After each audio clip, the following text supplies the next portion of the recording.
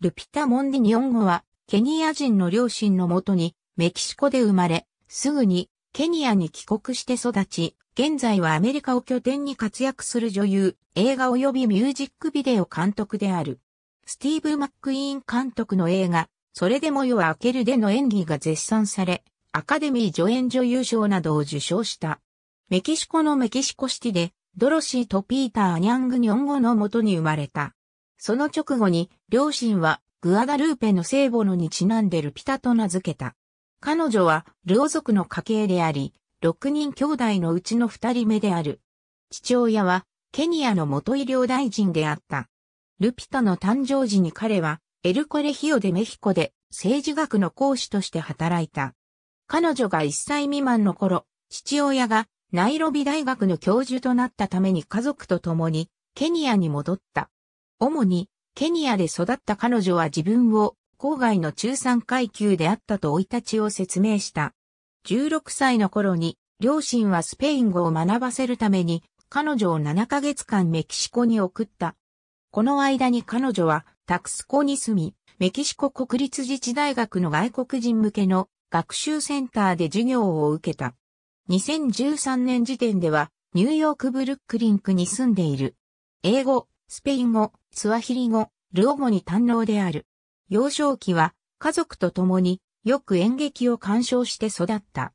初めての演技はケニアの女学校時代に出演した舞台、オリバー・ツイストでの脇役であった。14歳の頃、ナイロビのフェニックスプレイヤー制作の舞台、ロミオとジュリエットのジュリエット役でプロデビューを果たした。ニョンゴはプロ俳優を志すきっかけは、カラーパープルのウーピー・ゴールドバーグとオプラ・ウィンフリーの演技に感動したことであると述べている。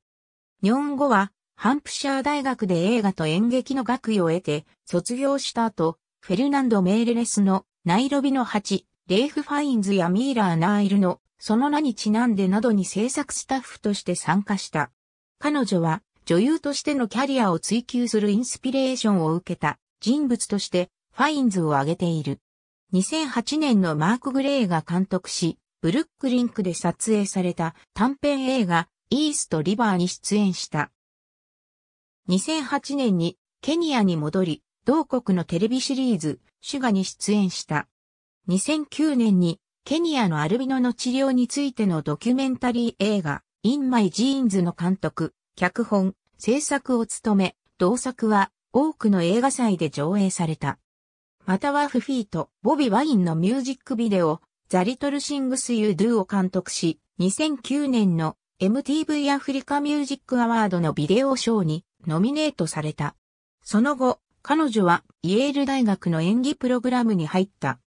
大学時代に彼女はガートルード・スタインのドクトル・フースタス・ライズ・ザ・ライツ、アントン・チェーホフのワーンニャ・ハクフさん、ウィリアム・シェイクスピアのジャジャウマナラシと冬、物語といった舞台作品に出演し、ハーシェル・ウィリアムズ賞も獲得した。2012年に大学を卒業し、修士号を得る前に、それでも夜は明けるにキャスティングされた。それでも夜は明けるは2013年公開の映画で、最も絶賛された作品の一つとなった。